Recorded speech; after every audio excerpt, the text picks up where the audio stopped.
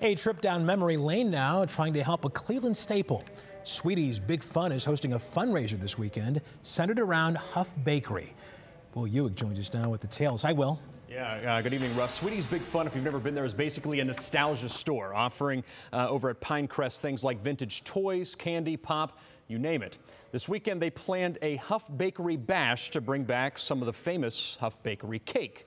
Now, Hough Bakery closed back in the early 90s, but Archie Pyle was there. He knew the recipes. He also knew Cleveland wasn't ready to say goodbye to some of their favorite baked goods. So he opened Archie's Bakery over on Lakeshore. That's where co-owner of Sweeties Big Fun, Steve Presser, gets that famous Hough Bakery cake. But Steve found out that Archie's Lakeshore Bakery was going through a bit of a rough patch with their landlord and looking for a new location.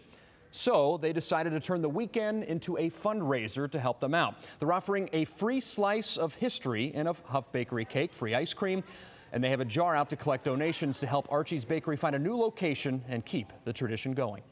Archie and his family are great people, and they deserve to have a new location. It's very, very costly to move a bakery because of kitchen equipment, and so we want to be part of it for them. And what better way than support a fellow brother and Archie's and families to try to have them continue their quest to bring Hough Bakery in everybody's life.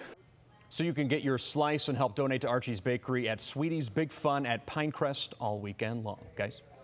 Very nice. Thanks so much.